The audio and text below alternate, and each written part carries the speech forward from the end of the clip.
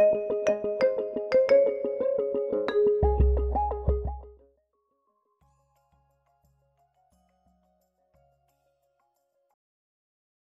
morning. Uh, thank you for uh, joining us uh, for this UCLA uh, Health webinar. I'm Dr. William Suh, and I'm an assistant clinical professor uh, in the Department of Medicine, and I'm an interventional cardiologist uh, here at UCLA. today, I'm going to talk to you about a new procedure called transcatheter aortic valve replacement. it's a new way to actually treat aortic stenosis. I uh, just wanted to add here that um, you can ask questions on Twitter uh, using hashtag UCLAMDchat. So uh, this is an example of a coronary angiogram.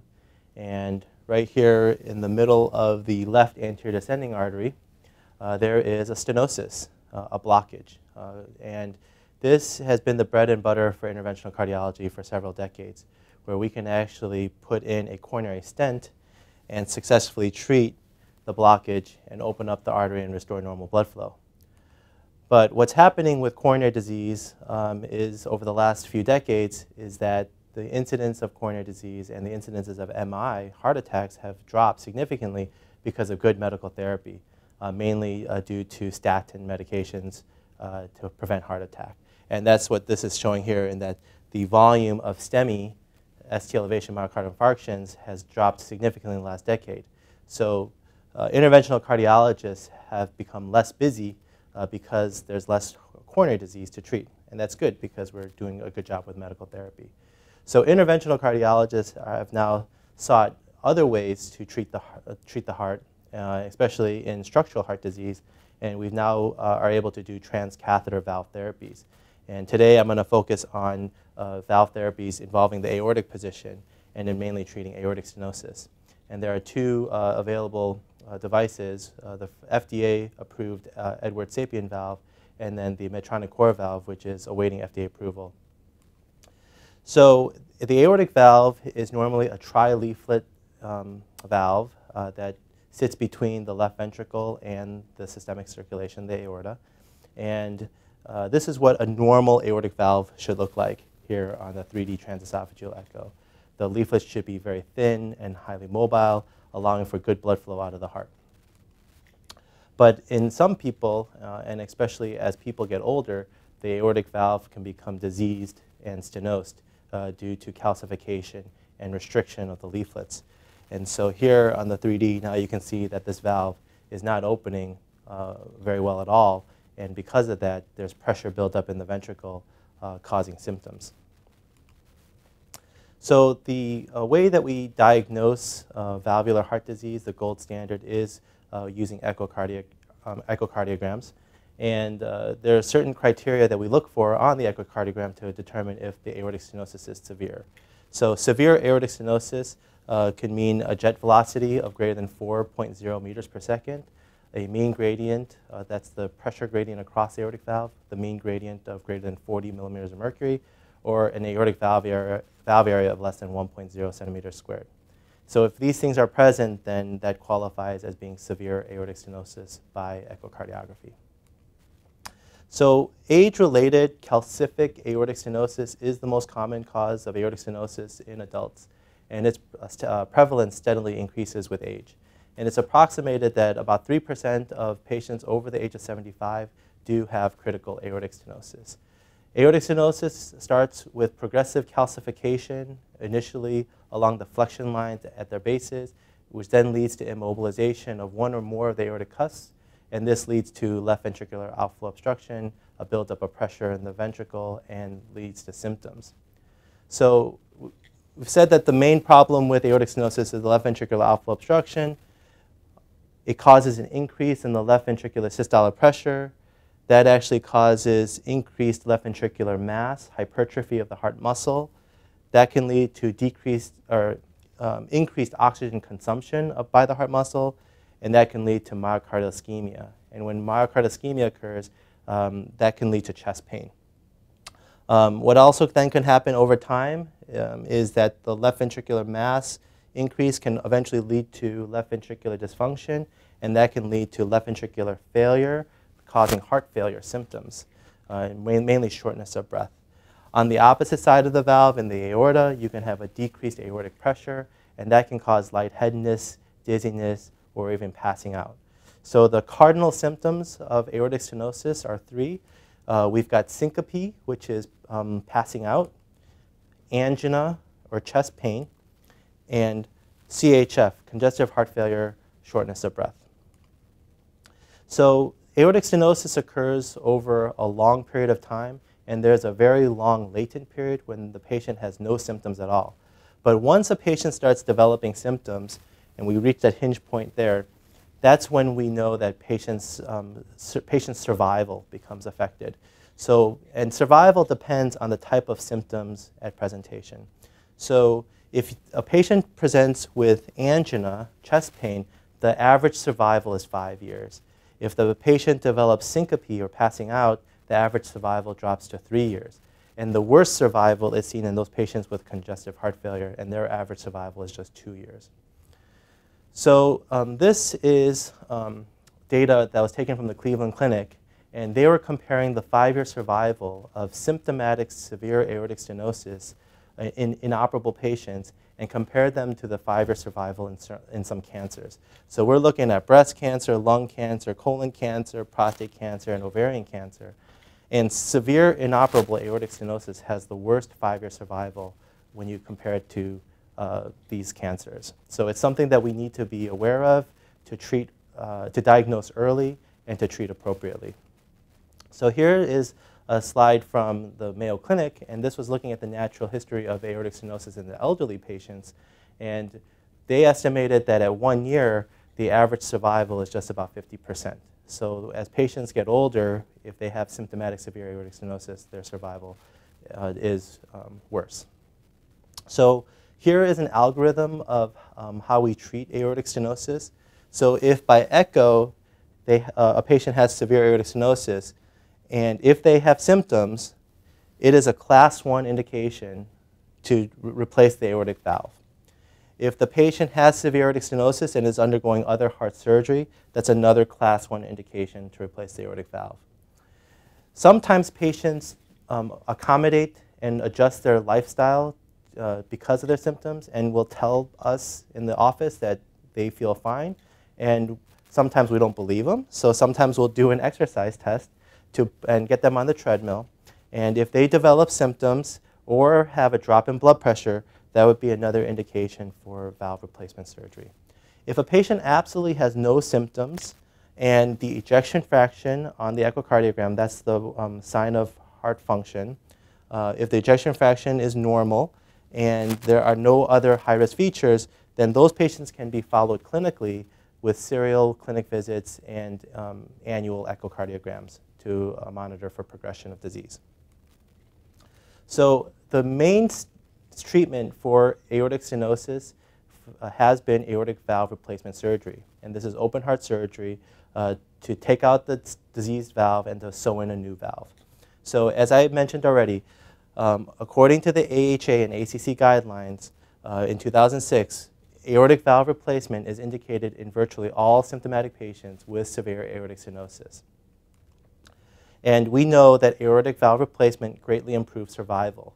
Uh, patients that um, did or did not have symptoms but did get AVR, their survival was much better in, compared to those patients that did not get AVR. So people do live longer uh, with aortic valve replacement. So a very common question that arises, especially since aortic stenosis more commonly occurs in the elderly patients, is that is age a contraindication to surgery?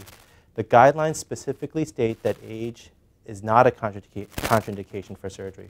But the decision to proceed with surgery in elderly patients depends on many factors, including patients' wishes and expectations. So I did my interventional cardiology training at the Massachusetts General Hospital, and we were part of the partner trial. And I actually witnessed a 98-year-old woman get randomized to open heart surgery as part of this trial. And she did very well and was discharged home after just six days in the hospital. So I witnessed this 98-year-old do very well with surgery, and so this proved to me that age is not a contraindication for surgery. But despite these recommendations, aortic valve replacement surgery is underutilized. Um, a significant number of elderly patients do not undergo AVR because of comorbidities and the associated increased morbidity and mortality with surgery. And uh, Dr. E. Young uh, reported from the European Heart Study that 33% of elderly patients with severe symptomatic aortic stenosis were denied surgery by their doctors.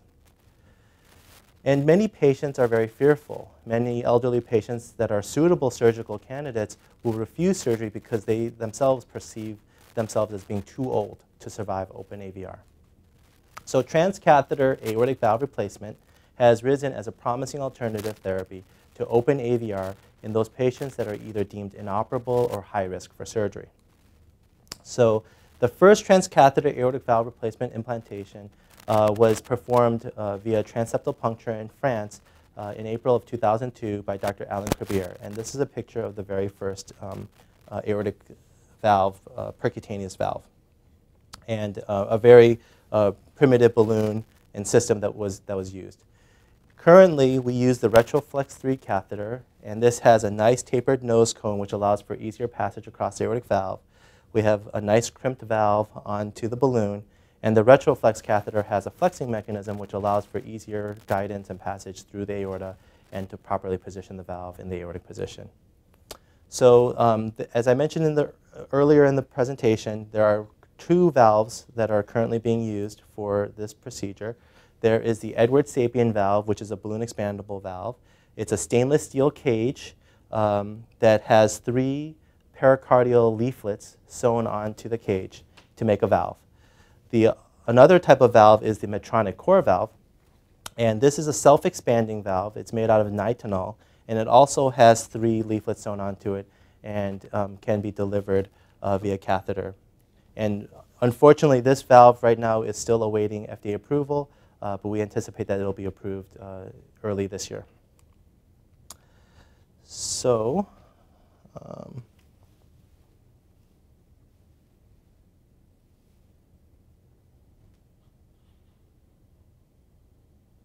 let's have an, okay, here we go. So this is an animation of the procedure. And here we have a bird's eye view of what a stenotic aortic valve would look like.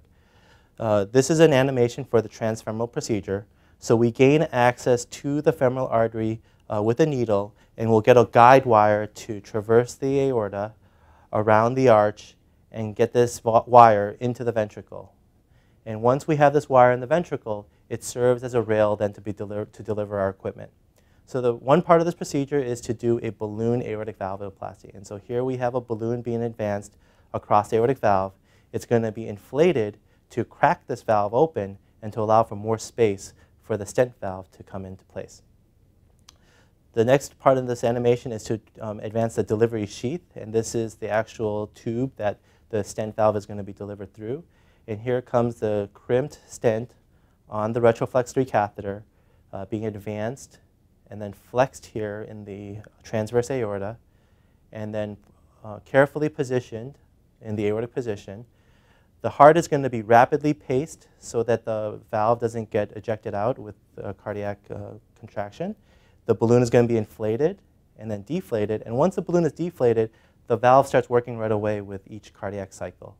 So here we have um, a valve that was implanted uh, without having to open the chest. The native valve leaflets are being pushed to the side, and it's the calcium within the native valve leaflets that serves as the anchor so that the valve doesn't get embolized out into the aorta. So now you can tell that this valve is allowing for much better flow out of the heart. Here's an actual fluoroscopic example of the procedure. Here we have an aortic injection to make sure that we're 50-50 uh, within the aorta and the ventricle. The balloon is going to be inflated to deploy the stent. The balloon will be deflated, rapid pacing will stop, and the valve will start functioning right away. Um, we measure the pressures within the ventricle and the aorta, and here is before TAVR. We have the left ventricular pressure and the aortic pressure, and here we have a pressure difference of 112 millimeters of mercury. After TAVR, that pressure difference goes essentially to zero.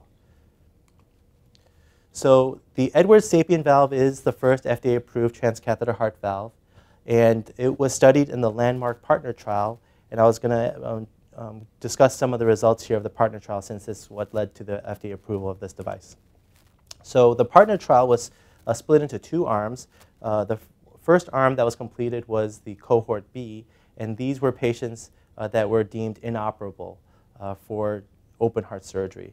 These patients were then randomized one to one to either transcatheter aortic valve replacement uh, versus standard therapy. And standard therapy uh, included balloon aortic valvuloplasty in about 83 to 84 percent of the patients. And their primary endpoint was looking at all-cause mortality um, over the length of the trial, and they were looking for superiority in all-cause mortality. So here is uh, the two-year data from the uh, cohort B uh, part of the trial. And at 12 months, those patients that were treated with standard therapy, including BAV, had a 50% mortality at one year. Those patients that were treated with the Edwards Sapien valve with TAVR had a one-year mortality of 30%. So this was an absolute reduction uh, in mortality of 20%. And this caused a lot of excitement since um, we saw such a huge difference in survival. Um, but you know, all, it seems very attractive that we can be able to deliver this valve without open heart surgery, but there are some downsides. And the downsides are that there is an increased risk of stroke, as well as an increased risk of major vascular bleeding. So in compared to the standard therapy arm, there was a higher incidence of stroke, 6.7% versus 1.7%, and there was also higher vascular complications and bleeding um, seen in the TAVR arm compared to medical therapy. So that was the um, cohort B. Here's cohort A. Uh, and this part of the trial was looking at patients that were considered high risk.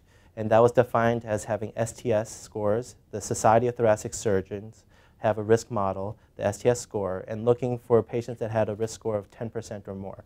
And if they qualified, then they were randomized either one to one to either TAVR versus surgical aortic valve replacement. And they were their primary endpoint was looking at all-cause mortality at one year, and they were looking for non-inferiority. So here is the three-year data uh, from the cohort A trial. And basically, this is showing that if the patients had TAVR or aortic valve replacement, the overall mortality was essentially the same. So TAVR was non-inferior to surgical aortic valve replacement.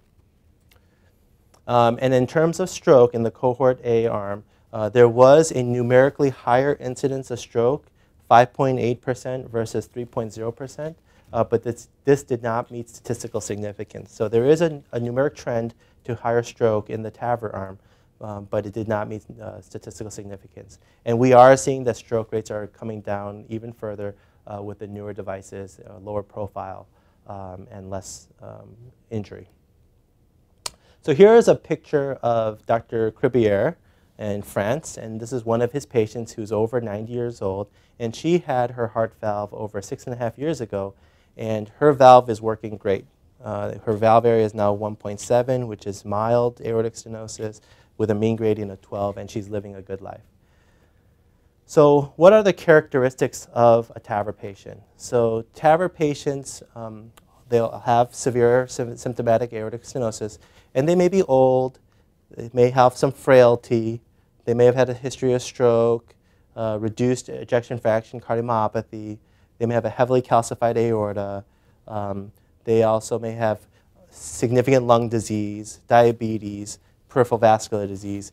All these things um, add up to uh, make patients more uh, at risk for having complications with an actual surgery. So sometimes we'll consider these patients for TAVR.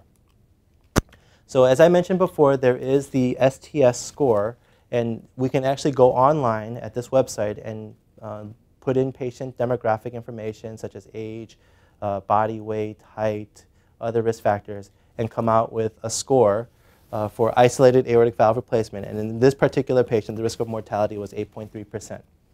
And uh, after FDA approval for the SAPIEN valve, uh, the um, FDA did drop the STS score requirement to 8% rather than 10% as it was in the trial. So this patient would actually qualify as a high-risk patient for TAVR.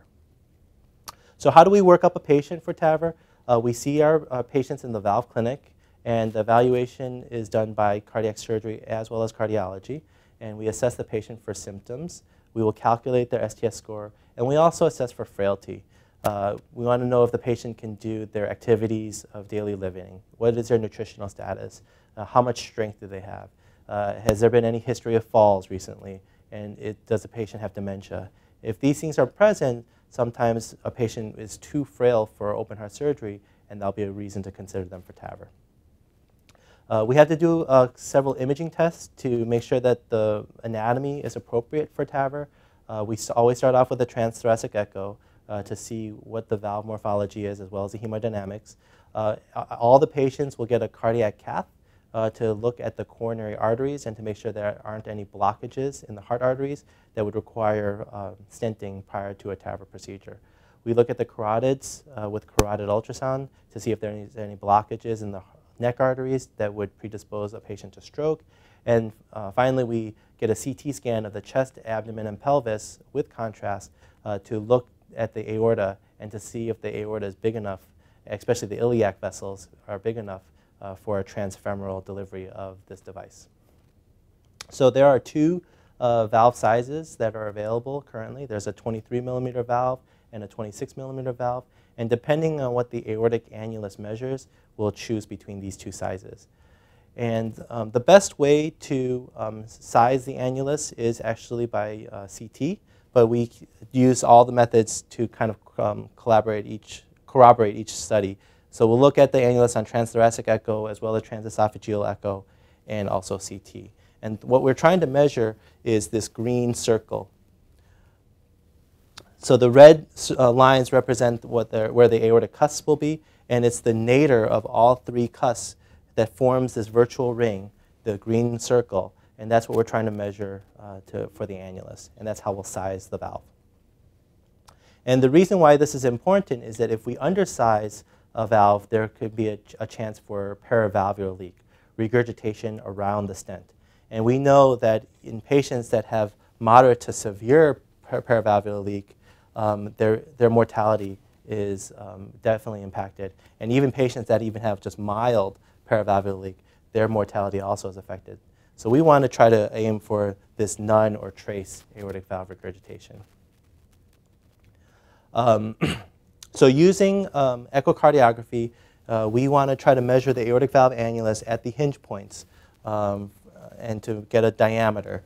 Uh, but we know that transthoracic echo usually underestimates the aortic annulus by about two millimeters. Uh, transesophageal echo um, can also give a better definition of where, how big the annulus is, and we can uh, use 3D reconstruction on TEE to get diameter measurements as well as area. But we, what we've come to find out is that uh, CT scans are probably the most accurate way of uh, measuring the annulus. And we can do 3D reconstruction of the aortic annulus, get the short axis and long axis diameters, as well as the, as the area. And we can compare that to the different sizes of the valves. And we want about a 10% uh, oversizing uh, of the annulus to help minimize paravalvular leak. We also measure the leaflet lengths and the amount of uh, calcification in the leaflets because sometimes uh, these leaflets can be pushed up towards the coronary arteries and we can get left main coronary artery occlusion.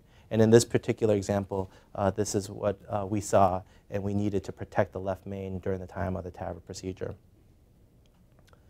So here is um, a fluoroscopy of uh, cine of uh, the delivery sheath being advanced uh, through the iliac artery and to the aorta. And you can see that this is a pretty big, uh, bulky tube that has to go through the aorta. And so we have to make careful measurements also of the aorta iliac vessels as well. So one way that we can assess the aortic iliac vessels is to do angiography. And in this particular uh, case, the um, iliac arteries are big enough for a transfemoral procedure. But we're looking for a minimum lumen diameter of 7 millimeters for a 23 valve and a minimum lumen diameter of 8 millimeters for a 26 millimeter valve. So we'll make these measurements on angiography.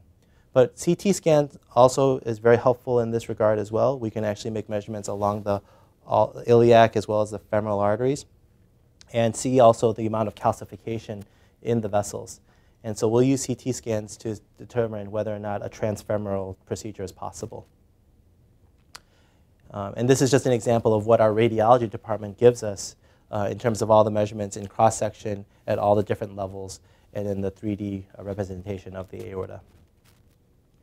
So for patients that uh, cannot have transfemoral delivery of the sapien valve, there are other alternative access sites. And one of the most common would be the transapical uh, approach.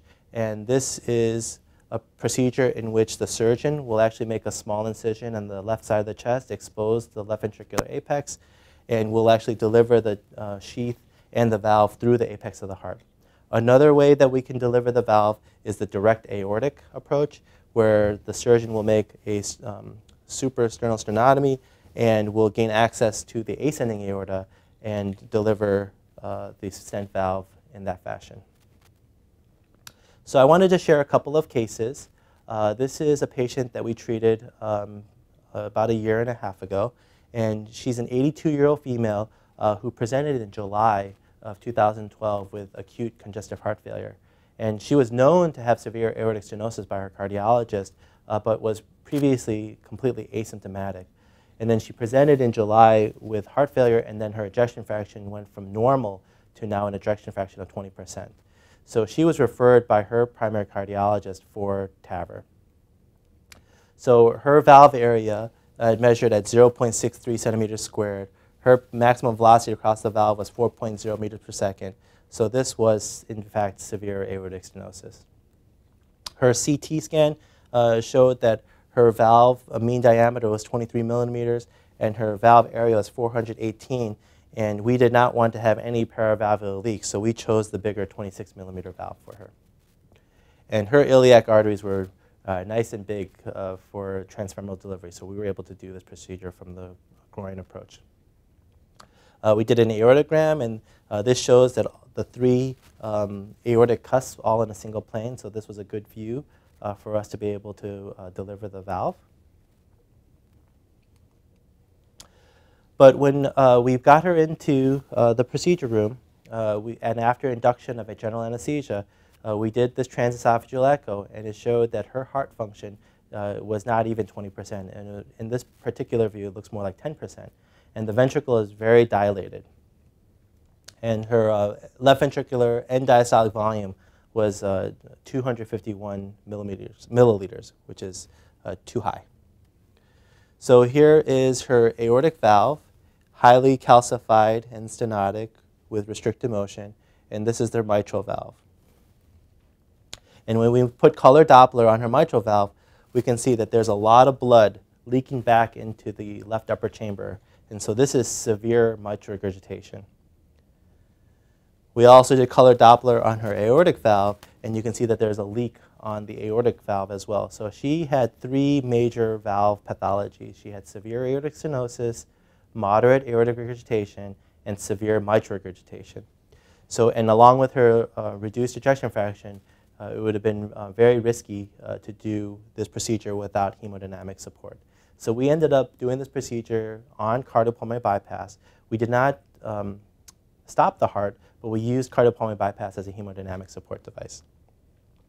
So once we got her on support, here is the echo showing the valve deployment, and you can see the valve coming up nicely here and then the balloon will be deflated, and this valve is going to start working right away.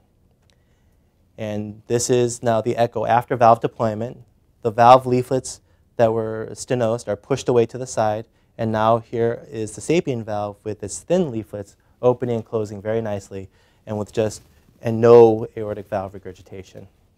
But what was interesting on this is that we are capturing some of the color Doppler on the mitral valve, and where there was previously severe mitral regurgitation, there is no longer a leak present. Um, this uh, just to show the aortic valve is opening nicely here with no aortic regurgitation and no uh, paravalvular leak. So we went ahead and also looked at her left ventricular function again, and now this ventricle is much happier. Uh, it's pumping better. The ejection fraction acutely increased to 25 percent and the ventricle itself looks less dilated. And we measured that left ventricular end diastolic volume again. It was previously 251 milliliters, and now it's 168 millimeters. So this ventricle is less volume overloaded after the TAVR procedure. And now here's um, the color Doppler again on the mitral valve, and the mitral regurgitation essentially went away, which was amazing. So uh, the use of cardiopulmonary bypass in this case for hemodynamic support was essential uh, due to the patient's severe cardiomyopathy as well as her uh, aortic and uh, mitral regurgitation. And in this case, uh, TAVR relieved three separate valvular derangements, the aortic stenosis, which actually um, caused a fixed afterload, uh, that was relieved with TAVR. The aortic regurgitation, which contributed to her left ventricular volume overload, was also relieved by TAVR. And then her mitral regurgitation, also contributing to her left ventricular volume overload, um, was uh, also fixed uh, with the TAVR procedure. And her left ventricular volume decreased from 251 to 168 acutely. And uh, her mi mitral regurgitation was from fun functional MR from uh, mitral annular dilatation, which improved dramatically after TAVR. So this is a, a case that we ended up publishing in the Journal of American College of Cardiology uh, last year. And so we got some nice um, uh, feedback from that. So um, here's another case. Um, so this is a patient that had Hodgkin's lymphoma at the age of 18 and was treated with radiation. And radiation to the chest can cause calcification over time. And she, this is her aortic annulus, and we got her um, diameters. But you can see that the annulus is very heavily calcified. Her area was 379 millimeters squared, and so that was appropriate for a 23 millimeter valve. So she, there's a lot going on um, in this picture. And she's had a previous mechanical mitral valve. Um, here is the valve going up here. This was a transapical procedure, so the delivery sheath is coming through the apex of the heart. Um, here is a transesophageal echo probe, which is helping guide the procedure. So she, she had a left coronary height that was uh, worrisome for left main occlusion. So we have here um, a guiding catheter sitting in the left coronary artery with a balloon in place just in case we see occlusion of the left main. So this valve goes up nicely here. And we got a very nice result acutely. And this is the aortogram following the procedure and the valve is sitting nicely, um, and she did very well post-op. And she was discharged home about five days after the procedure. But then a week after, she comes back to the office, and she now has a new murmur. And so we get a CT scan, and this is what we see. So here's her, here's her sapien valve, and here is the interventricular septum, and there is a hole. So this is a, a traumatic ventricular septal defect. There's a hole here um, between the right and left ventricle, and that's what the new murmur was from. And when we go back to her CT scan prior uh, to the procedure, we see that there is this chunk of calcium right at the interventricular septum. So when we put the stent valve in, it pushed this chunk of calcium into the septum and then eventually led to a, a hole. So we brought her back into the cath lab and we ended up putting in a, um, a plug. So here's a muscular ventricular septal defect occluder um, that's sitting in, in that hole, and we plugged up this hole. And this is a nice uh, 3D volume rendered uh, rendition of uh, what that would look like. So this is the sapien valve, this is the mechanical mitral valve that she had in place, and then we have the VSD occluder that's uh, plugging up that hole. So this was a pretty cool case uh, that we ended up fixing her without having to open her chest. So um, this is a cute picture of a cat and a dog fighting. And this is the battle that's been going on between interventional cardiology and cardiac surgery for the last few decades. And so here the interventional cardiologist is giving it to the cardiac surgeon. But what this procedure has done is really created a new marriage between our specialties. And we work very closely with the cardiac surgeons, and we now have a heart team. And so this is what we are doing now. We're coexisting nicely, uh, and everybody's getting along. And these are the members of the UCLA Heart Valve team. Uh, Dr. Uh, Jonathan Tobis, myself, and Dr. Aksoy are the interventional cardiologists on the team. Dr. Richard Shemin and Dr. Murray Kwon are the two cardiac surgeons on the team. Uh, we are supported by cardiac anesthesia, our, uh, our, colleagues in cardiac imaging, as well as our nurse practitioners and the cath lab and OR staff. So um, this ends um, the uh, part of the, the, webinar, and I just wanted to uh, now go to the audience for questions. And some of the questions that were asked uh, today uh, via Twitter. Uh, the one, first question is why do you need two interventional cardiologists in the OR if you have two uh, CT surgeons there? So um, this is a team approach. Uh, this procedure uh, does require um, the expertise of both specialties. Um, the cardiac surgeons are very good at opening the, the chest and doing surgery, but this is a procedure um, that also requires the use of fluoroscopy, angiography, and so and the um, skills uh, in terms of catheter and wires. So it actually ends up being important that both of us, um, the both specialties, are involved in every case. Uh, it, it, ends up being um, a good experience for everybody. Um, so the next question is, is TAVR available for patients with other heart issues besides aortic stenosis? Uh, the question is no.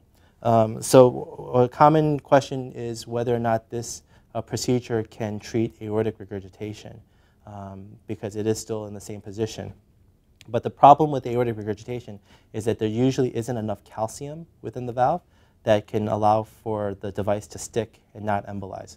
So currently, TAVR is only uh, intended for aortic stenosis. Um, the next question is how long does the procedure take? Uh, the procedure itself uh, takes about an hour and a half to two hours, but total time in the room is a bit longer because of setup uh, and recovery. So uh, total time in the room usually is about four hours, uh, but the actual procedure itself takes about an hour and a half to two hours. Um, the next question is, what will I have to do after the procedure? Um, typically, we uh, have patients stay in the hospital anywhere from three to five days uh, for a transfemoral procedure.